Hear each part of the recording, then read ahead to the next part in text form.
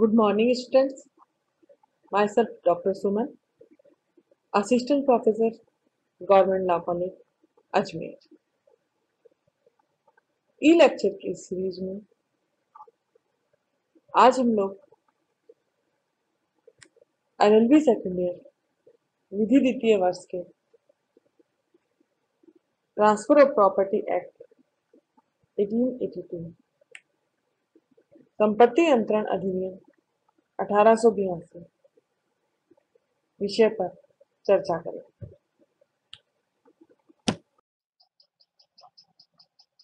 Transfer of property act 1882 section 13 transfer for benefit of unborn person.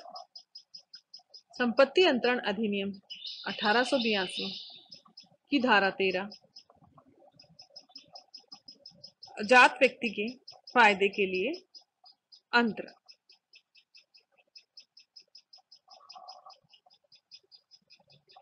Where on a transfer of property and interest therein is created for the benefit of a person not in existence at the date of the transfer subject to a prior interest created by the same transfer the interest created for the benefit of such person shall not take effect unless it extend to the whole of the remaining interest of the transfer in the property.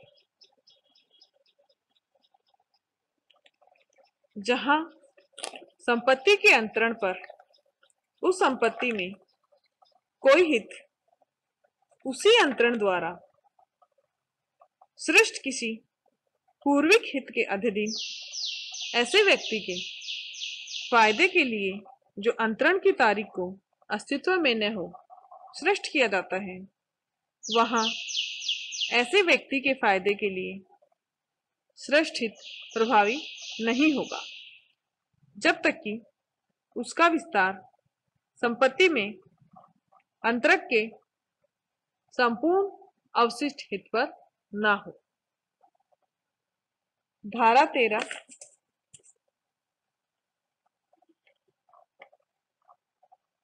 Unborn व्यक्ति, अजात व्यक्ति के फ़ायदे के लिए अंतरण के बारे में उल्लेख करती है। धारा तेरह के अंतर्गत किसी संपत्ति अंतरण में, उसी संपत्ति के अंतरण द्वारा किसी इनवॉर्म अनबोर्न पर्सन, गर्भस्थ शिशु के फ़ायदे के लिए, किसी अन्य एजन्मे व्यक्ति को हित सर्जित किया जाता है। ऐसे अंतरण को प्रभावी होने के लिए आवश्यक है कि उस अनबोर्न व्यक्ति को हित देने के पूर्व पूर्व हित प्रायर इंटरेस्ट भी क्रिएटेड पूर्व हित सर्जित किया जाए। जैसे ट्रस्ट। उसके पश्चात एब्सोल्यूट स्टेट पूर्ण हित उस अजात व्यक्ति को दिया जाए। अनबोर्न से तात्पर्य, जो अभी या अंतरण के समय अस्तित्व में नहीं है।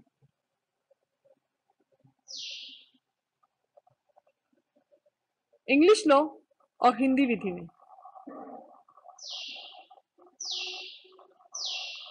इस पर डिफरेंट मत है।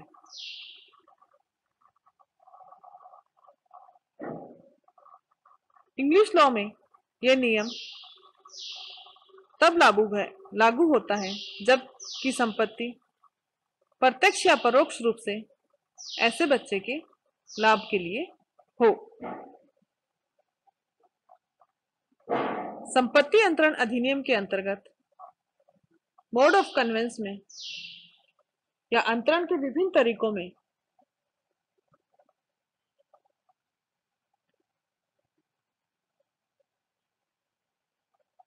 स्टार्टिंग के लेक्चर में हमने ये जाना कि अंतरण के समय या संपत्ति अंतरण अधिनियम के लिए आवश्यक है कि अंतरण कर्ता व अंतरण ग्रहिता दोनों का।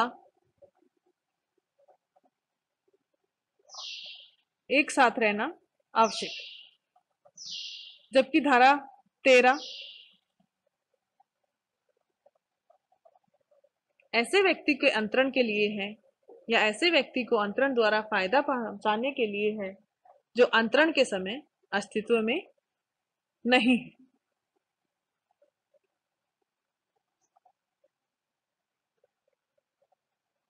संपत्ति अंतरण अधिनियम में संपत्ति अंतरण तभी किया गया माना जाता है जब अंतरणकर्ता व अंतरिति दोनों मौजूद हों। अंतरण का तरीका, सेल, मॉर्गेज, गिफ्ट, लीज, विक्रय, दान, विनिमय, बंधक, पट्टा हो सकते हैं। इसके अलावा मोड ऑफ़ कन्वेंस में हमने देखा कि अंतरण के कई अन्य तरीके, जैसे वशियत ऑक्शन नीलामी विल भी हैं। इसके अलावा, संपत्ति अंतरण अधिनियम की धारा तेरह, अनबोर्न व्यक्ति को ट्रांसफ़र पर section thirteen rule against perpetuity शाश्वतता के विरुद्ध नियम। इनमें भी अंतरण के तरीके बताए गए हैं।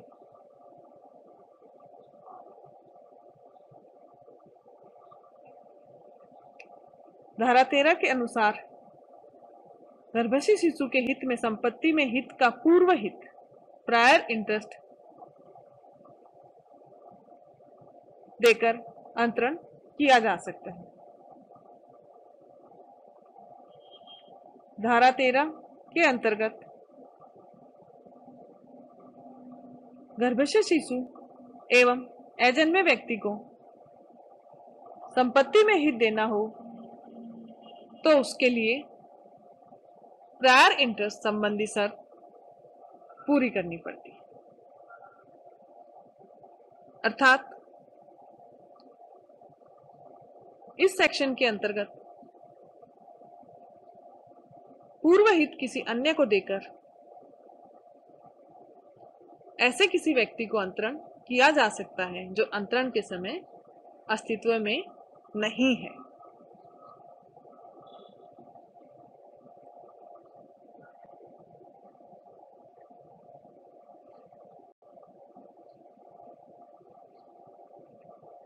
सेक्शन थर्टीन में हम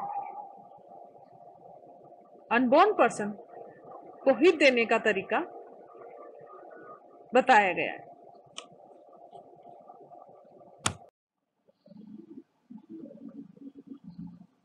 अजात व्यक्ति के फ़ायदे के लिए अंतरण को हम इस इलस्ट्रेशन द्वारा समझ सकते हैं। It transfer it transfers property of which he is the owner to be interest for a and his intended wife successively for their lives and after the death of the survivor for the eldest son of the intended marriage for life and after his death for his second son. The interest so created for the benefit of the eldest son does not take effect because it does not extend to the whole of age remaining interest in the property. अर्थात ए, उस संपत्ति का स्वामी, उस संपत्ति को जिसका वह स्वामी है ख को? क्रम से अपने लाइफ टाइम के लिए और उत्तरजीवी की डेथ के पश्चात आशित विवाह से ज्येष्ठ पुत्र के जीवन पर्यंत लाइफ टाइम के लिए और उसकी मृत्यु के पश्चात एक या दूसरे पुत्र के लिए ट्रस्ट के रूप में अंतरित करता है। ज्येष्ठ पुत्र के फ़ायदे के लिए इस प्रकार किया गया हित, सृजित किया गया हित प्रभावशील नहीं होगा। क्योंकि ए में संपूर्ण अवशिष्ट हित नहीं है। अर्थात पूर्व हित एक व्यक्ति को, एक व्यक्ति को दिया जा सकता है या अनेक व्यक्तियों को दिया जा सकता है। अनेक को एक साथ कंकरेंटली भी दिया जा सकता है। केवल और केवल यहाँ पे आवश्यक ये है कि पूर्व हित एक साथ हो।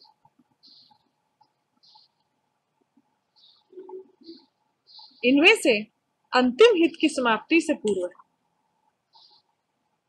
अंतिम अंतरिति, अर्थात जिसको या जिसके फ़ायदे के लिए यह ट्रांसफ़र किया गया है। अर्थात अनबोर्न व्यक्ति अस्तित्व में आ जाना चाहिए।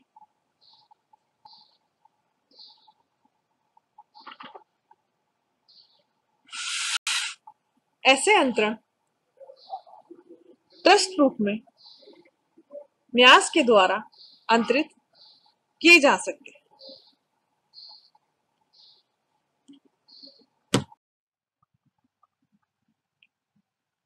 essential condition transfer for the benefit of unborn person. अजात व्यक्ति के अंतरण को अंतरण करने के लिए आवश्यक शर्तें।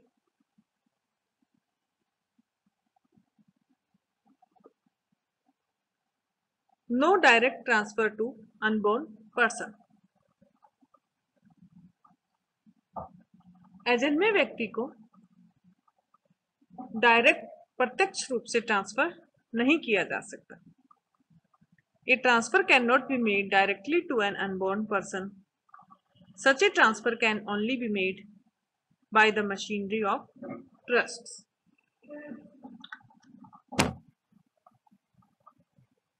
धारा तेरह के लाभ के लिए गर्भस्थ शिशु को अंतरण सीधे नहीं किया जा सकता जैसे यदि किसी अनबोर्न व्यक्ति, अजन्मे व्यक्ति को अंतरण करना है ए नामक व्यक्ति जो अपने परपुत्र को अंतरण करना चाहता है।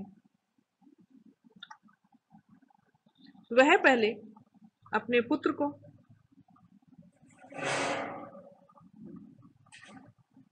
उस संपत्ति में हित देगा। वह सीधे अपने परपुत्र को अंतरण नहीं कर सकता। क्योंकि परपुत्र अभी अस्तित्व में नहीं है। ऐसे अंतरण के लिए ए, जो अपने परपुत्र को सीधे संपत्ति नहीं दे सकता, वो उसको दी जाने वाली अचल संपत्ति, बी, अपने पुत्र को जीवन भर के लिए दे या कुछ अवधि के लिए दे। उसके बाद वह अपने परपोत्र को पूर्ण हित दे। अर्थात वह को पूर्व हित देना आवश्यक है। वह अपने पुत्र को इसमें ट्रस्टी भी नियुक्त कर सकता है, जो अंतिम अंतरिति को संपत्ति पहुँचाने का उसका दायित्व होगा।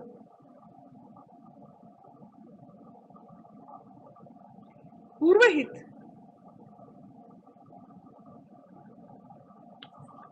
अजन्मे व्यक्ति को लाभ पहुँचाने के लिए किसी अन्य को दिया जाना आवश्यक है।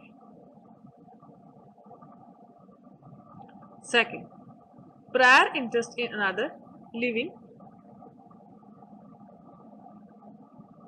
person the interest in favour of an unborn person must always be preceded by a prior interest in favor of a living person. पूर्व हित दिया जाना धारा तेरह की एक आवश्यक शर्त है। पूर्व हित एक व्यक्ति को या अनेक व्यक्तियों को दिया जा सकेगा। बहुत से व्यक्तियों को मिलाकर एक साथ या एक के बाद एक कंकरेंटली भी दिया जा सकता है शर्त सिर्फ़ यहाँ पे ये है कि अंतिम अंतरिति जो अनबोर्न जन्म व्यक्ति है अजन्मा व्यक्ति, उसका अंतिम हित की समाप्ति से पूर्व अस्तित्व में आना आवश्यक है। अन्यथा, धारा तेरह के अंतर्गत किया गया अंतरण शून्य हो जाएगा।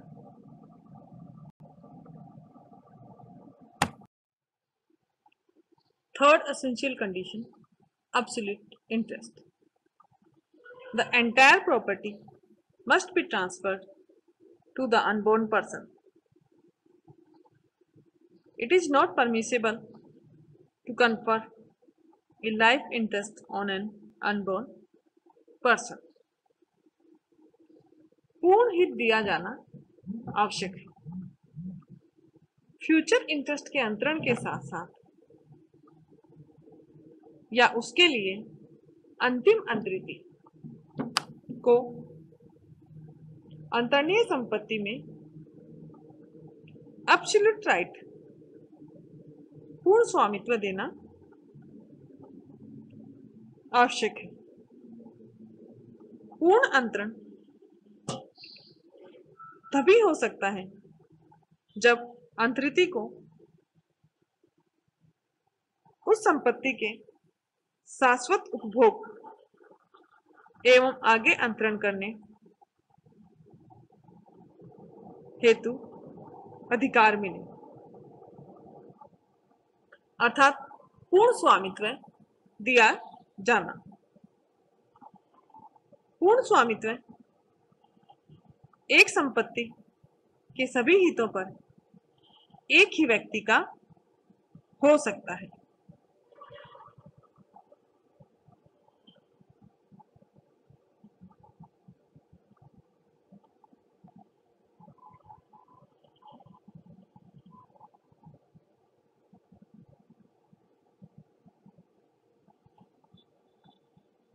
कोई संपत्ति जीवन भर के लिए किसी व्यक्ति को दी जानी है। धारा तेरह के अनुसार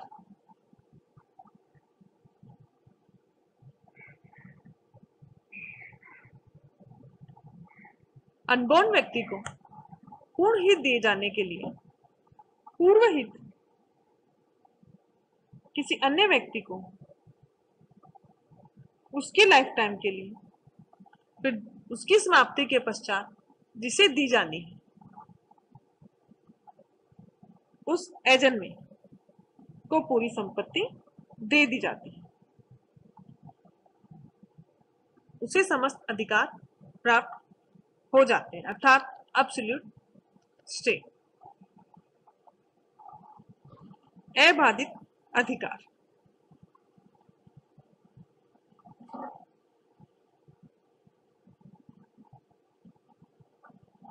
In English law, it is possible to give an stay to an unborn person for life.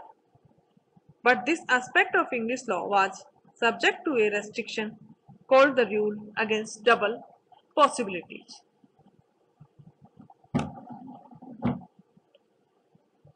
पूर्ण हित अजन्मे व्यक्ति को दिया जा सकता है इंग्लिश लॉ में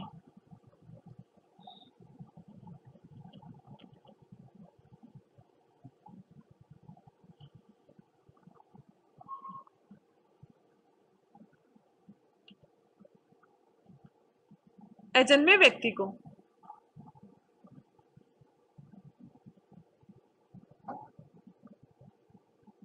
कुछ प्रतिबंधित सहित।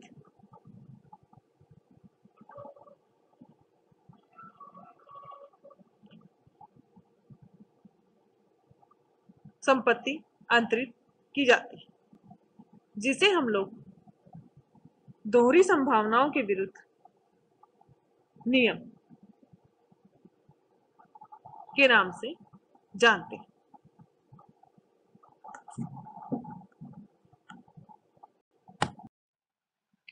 रूल ऑफ़ डबल पॉसिबिलिटीज दोहरी संभावना का नियम। इंग्लिश लॉ में किसी अनबाउंड को आजीवन संपदा देना संभव है। इंग्लिश लॉ दोहरी संभावनाओं के, विरोधी नियम के अधीन कार्य करता है। इसे हम विट्री वर्सेज मिशेल के बाद में समझ सकते हैं। दोहरी संभावना नियम के अनुसार किसी अनबोर्न को आजीवन संपदा देना संभव है। किंतु अनबोर्न व्यक्ति की संतान को संपदा देना परमिसेबल नहीं था। क्योंकि इसमें दो संभावनाएँ होती हैं। फ़र्स्ट, उस अनबोर्न व्यक्ति का जन्म, जिसे आजीवन हित दिया गया दूसरा, उस अनबोर्न, अजात व्यक्ति की संतान का पैदा होना। अर्थात दो संभावनाएँ। विट्री बनाम विशेल के केस में। इसे डबल पॉसिबिलिटी रूल कहा गया।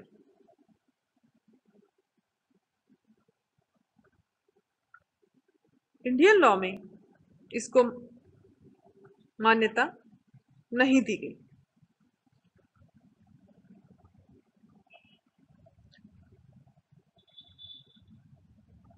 इंडियन लॉ में धारा तेरह के अनुसार, पूर्व हित व पूर्ण हित की शर्त के साथ, अर्थात प्रायर इंटरेस्ट के साथ अजन्मे व्यक्ति को अंतरण किया जाना संभव है। जहाँ दो संभावनाएँ होंगी, वहाँ अंतर संभव नहीं एक और बात। गिरजेश दत्त बनाम Data Din. A I R nineteen thirty four Awadh thirty five इस वाद में के नामक व्यक्ति ने अपनी संपत्ति बी को दान दे दी। बी को संपत्ति जीवन भर के लिए दी गई। बी के बाद उसी के मेल सक्सेसर को अब्सोल्यूट राइट दिया गया। और अगर कोई मेल सक्सेसर न हो तो बी की फीमेल सक्सेसर को संपत्ति अंतरित की गई। परंतु उन्हें कुछ रेस्ट्रिक्शन सहित संपत्ति अंतरण करने गई। अर्थात उन्हें उस संपत्ति को आगे अंतरित करने का कोई अधिकार नहीं दिया गया। इट मीन्स अब्सोल्यूट राइट्स नहीं दिए गए।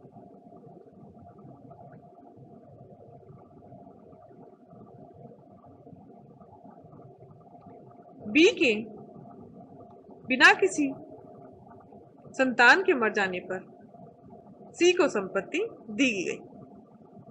न्यायालय के सामने यह विवाद था कि क्या सी को किया गया अंतरण फोर्सिबल है, सही है या नहीं? न्यायालय द्वारा सी का हित वॉइड माना गया, शून्य माना गया। क्योंकि अंतरण के समय बी की फीमेल सक्सेसर्स को लिमिटेड एस्टेट दिया गया, जो अवैध था। अवैध अंतरण पर आश्रित अंतरण भी अवैध ही रहेगा। इसे हम नेक्स्ट सीरीज़ में सेक्शन 16 में पढ़ें अर्थात जहाँ पर दोहरी संभावनाएँ हो, अर्थात जिसका अस्तित्व नहीं है और उसके पश्चात जिसे अंतरण किया गया।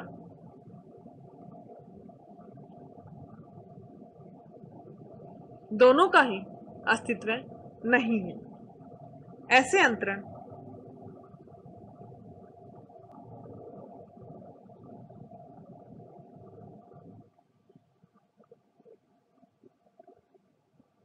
रूल ऑफ़ डबल पॉसिबिलिटीज दोहरी संभावनाओं का नियम। कहलाते